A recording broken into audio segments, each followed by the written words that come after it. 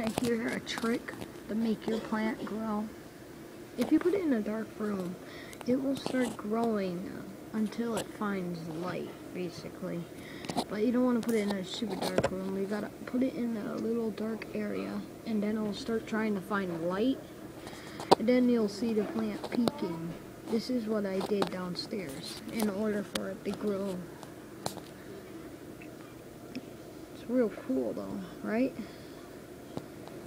Should start trying it.